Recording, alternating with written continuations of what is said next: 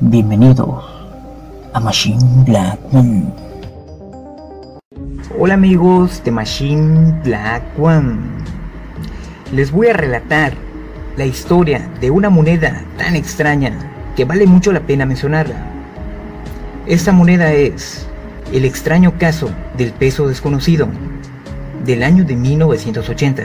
Esta moneda mexicana de un peso es tan extraña, tan irregular, que vale bastante la pena hablar sobre ella, ya que esta moneda de un peso mexicano mezcla la realidad con la ficción.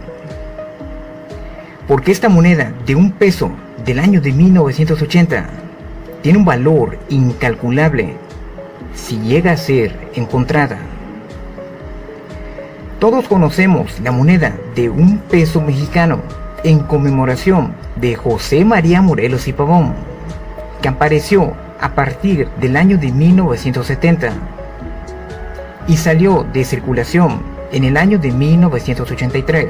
En el año de 1983 fue su último año de acuñación. Pero resulta que en el año de 1980 esta moneda se iba a modificar por otra. Su diseño ya estaba autorizado. Los mecanismos para troquelar o acuñar esta moneda ya estaban listos. Pero por alguna razón, el proyecto de esta moneda se abandonó. Era la década de 1980. Y esta moneda debió ser acuñada, pero nunca sucedió. La leyenda cuenta que la persona que la acuñó o fabricó la heredó a un pariente cercano. Y esta persona que la había heredado, como no la quería, la arrojó en un lugar apartado, en México, y jamás la volvió a mencionar. Ficción o realidad nunca se sabrá porque los planos, si existen, son reales. Y realmente nunca se acuñó esta moneda.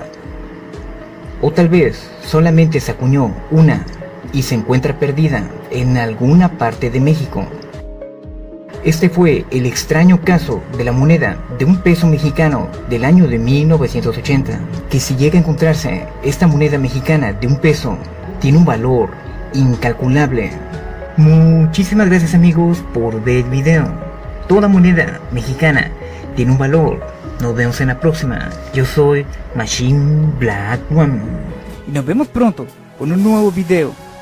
Hasta la próxima y buenas noches.